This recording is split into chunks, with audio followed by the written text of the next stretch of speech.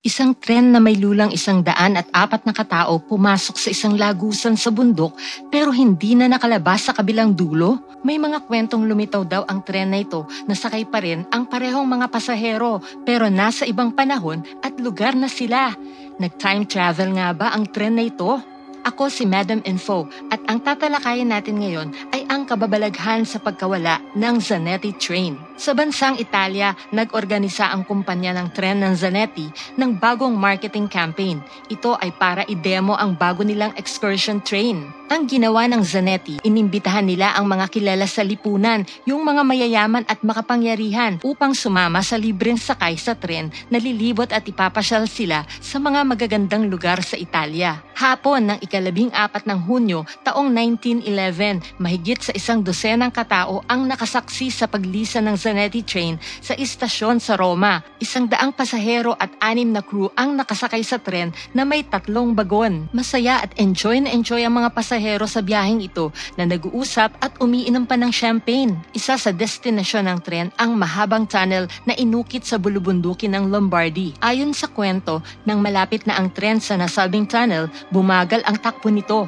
at nagbuga ng makapal na itim na usok na umakyat pataas sa hangin. Tumuloy na pumasok ang tren sa loob ng tunnel pero hindi na ito lumabas. Sinasabing ang tunnel ay isang mahabang diretsyo lang at ang dulo nito ay ang labasan na. Wala itong palikuliko kaya't kung tuloy-tuloy ang takbo ng tren ay dapat na simple lang itong makalalabas sa kabilang dulo. Inimbestigahan ng mga opisyales at kapulisan ng Roma ang pagkawala ng tren at ng mga pasahero nito. Hinalughog at binungkal ang tunnel pero walang bakas ng tren o ng kahit isa sa mga nawawalang pasahero nito ang nakita. Walang makapagpaliwanag kung paanong nag naglaho na lang ito ng parang bula.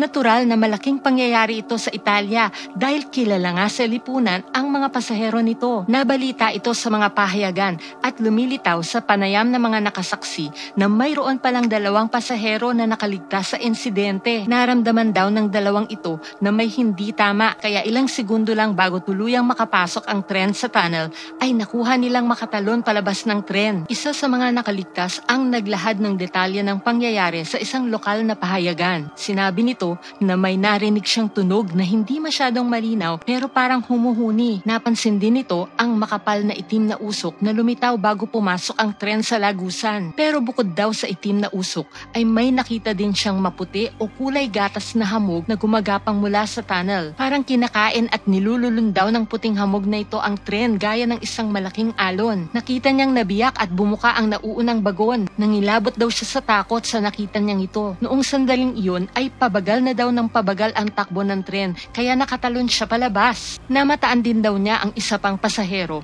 na nakatalon din mula sa tren kasabay niya. Pareho silang matindi ang pagkabagsak sa lupa at yun na raw ang huli niyang natandaan. Dahil sa insidenteng ito ay nagkaroon ng takot ang mga Italiano noong panahong iyon sa paggamit ng tren kaya umiwas silang sumakay dito. Ang mahiwagang lagusan ay ipinasara na rin. Yung isa sa mga pasaherong tumalon mula sa tren ay nabibilang pala sa pamilya ng mga Sagino. Ang mahabang henerasyon ng pamilyang ito ang nangangalaga ng koleksyon ng mga lumang dokumento ng kasaysayan ng medieval era o Middle Ages sa Italia. Sakop ng panahong ito ang mga taong 500 AD hanggang 1500 AD. Ang mga kasulatan ay nakatago sa Casta Soleo na pag-aari ng mga Sagino. May kamanghamanghang nadiskubre ang pasaherong nakaligtas sa tren na tatawagin nating si Ginoong Sagino. Sa kanyang pagbabasa ng mga lumang kwento ng medieval era ay nadaanan niya ang isang paglalahad tungkol sa isang kakaibang natunghayan ng mga monghe sa monasteryo sa probinsya ng Modena. Ayon sa naitala, may malaking makina ang biglang sumulpot sa may dingding ng monasteryo. Inilarawan ng mga monghe ang nakita nilang bagay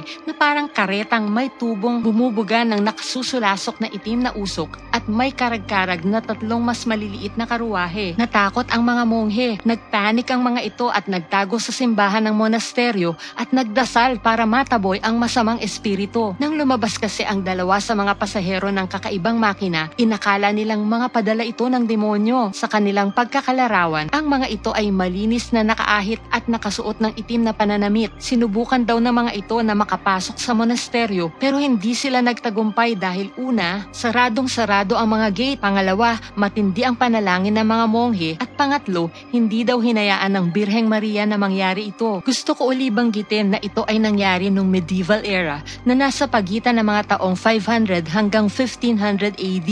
Ang pinakaunang naitala na biyahe ng tren na demakina o steam engine ay nangyari lamang sa taong 1804. Ibig sabihin, sa katapusan ng medieval era, mga tatlong daang taon pa ang lumipas bago nagkaroon ng ganitong klasing tren. Kaya mauunawaan natin ang pagkatakot ng mga monghe sa nakita nilang sasakyan na ikonekta ni Ginoong Sagino ang kwentong nabasa niya sa nawawalang tren. Inisip niya na ito nga kaya ang parehong tren kung saan siya tumalon. Nag-time travel nga ba ang Zanetti train? Hindi lang iyan ang naitalang report na nagsasaad ng tungkol sa pagkakakita sa nawawalang tren. Pero bago tayo magpatuloy, gusto ko lang pasalamatan si Julie Wisconsin, Travel with Christian, Nestor Maranan, Philip Ronquillo, Ronald Rabanes, David Giant, Jeff Dandelion, and Black Whites. The best talaga kayo, Infomates. Maaari nyo ring suportahan ang channel na ito kapag clinic nyo ang thanks button sa ibaba. Taong 1840 sa bansang Mexico, isang doktor na psychiatrist na nagngangalang Jose Saxino ang metikuloso sa pagsusulat ng kanyang mga obserbasyon at diagnosis tungkol sa kanyang mga pasyente. Kasama sa mga naitagong notes ng doktor na ito ay tungkol sa isang daan at apat na Italianong misteryosong lumitaw. Kakaiba daw ang mga kas kasuotan ng mga ito at mga nag-hysterical. Isinulat ni Dr. Saxino ang ganito sa wikang Kastila. Isang daan at apat na katao ang inadmit sa lokal na pagamutan. Ang diagnosis ay mass insanity o maramihang pagkabaliw. Pare-pareho ang diagnosis sa isang daan at apat na pasyenteng ito. Isa itong pambihirang pangyayari. Lahat ng pasyente ay kumikilos ng hindi tama at walang naiintindihan sa sinasabi sa kanila ang katotohanan ay wala ni isa sa kanila. Ang Meksikano o Kastila, sila ay mga Italyano. Ang nakakapagtaka pa ay wala sa kanila ang nabibilang sa kahit anong barko. Ako mismo ang nagsiyasat. Ang lalo pang hindi ka panipaniwala ay bawat isa sa kanila ang nagpahayag na dumating sila lulan ng isang tren na nagngangalang Zanetti. At sila daw ay galing sa Roma. Ang mga taga rito tuloy ay naniniwala na ito ay isang senyales galing sa Diyos at ang mga pasyenteng Italiano ay mga emisaryo galing sa lugar ng walang hanggan.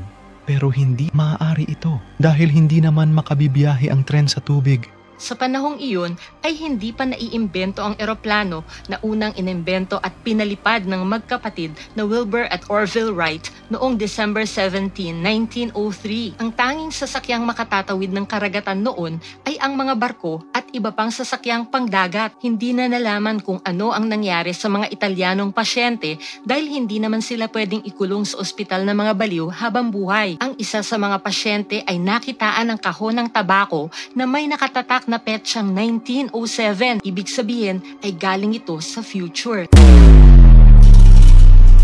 Ang nasabing kahon ay itinatago pa rin daw sa isang museo. Hanggang ngayon ay nananatiling isang malaking misteryo ang pangyayaring ito sa Mexico. Fast forward sa October 29, 1955 sa may Zavalichi na isang maliit na bayan sa Ukraine. May biglang lumitaw na lumang modelo ng tren na may tatlong bagon. Nakita ito ni Piotr Ustemenko, trabahador sa Riles, bilang signalman. Tahimik daw na umaandar ang tren. Naka-duty ng gabing iyon si Ustemenko at nakita niya itong tren na ito na hindi naman nakaschedule. Papunta daw ang tren sa Gasfort Mountain pero wala ito sa riles. Akala nga niya ay namamalikmata lang siya at kinuskus pa talaga niya ang mga mata niya para masigurong tama ang nakita niya. At nandoon talaga ang tren na nakatabing ng kortina ang mga bintana, nakabukas ang mga pinto at Walang laman ang cabin ng tsuper. Konektado sa kwentong ito ang isang sementeryo sa Italia na itinayo sa Gasfort Mountain malapit sa Sevastopol. Dito inilibing ang may dalawang libong sundalong namatay sa gera sa Crimea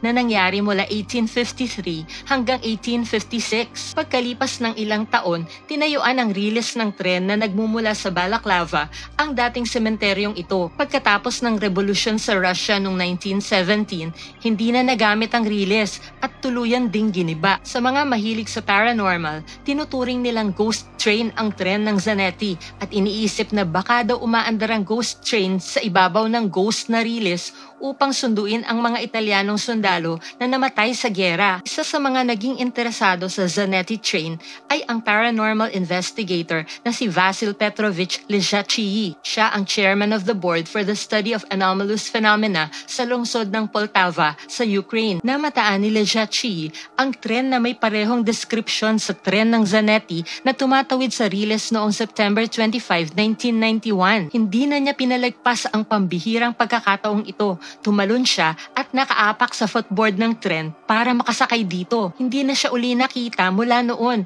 at opisyal na dineklara ang kanyang pangalan sa talaan ng mga nawawalang tao.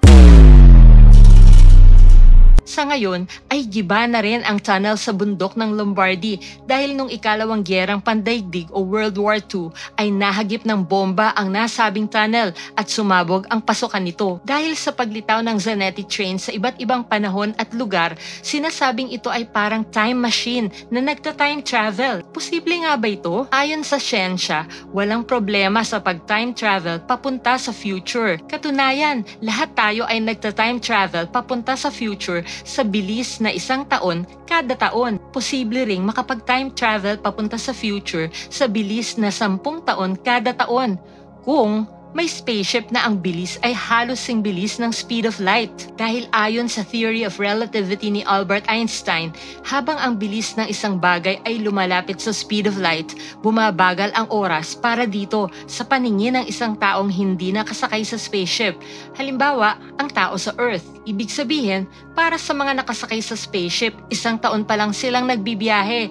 Pero para sa mga nasa Earth, sampung taon na ang lumipas. Kaya pagbalik ng spaceship, para silang naglakbay ng sampung taon sa future sa loob lang ng isang taon. Ang diferensya ng oras sa pagitan ng spaceship at ng Earth ay tinatawag na time dilation. Ang kaso, wala pang naiimbentong spaceship na ganito kabilis. Ang mga kasalukuyang spaceship na nalikha ng tao ay malayo pa sa ganitong bilis kaya ang time dilation ay maliit lang. Pero oo, ikinukonsidera pa rin itong pagbibiyahe ng mas mabilis papunta sa future. Ang time travel pabalik sa nakaraan ay mas komplikado. Bagamat sa teorya ay posible ito, gaya halimbawa ng wormhole, malayo pa ang teknolohiyang makakapagpatunay nito. Dahil dito, ang nangyari sa Zanetti train ay hindi pwedeng sabihing sakop ng siyensya, paranormal, Maaari, pero habang walang makatuwirang paliwanag dito, ay mananatili mo na itong isang urban legend.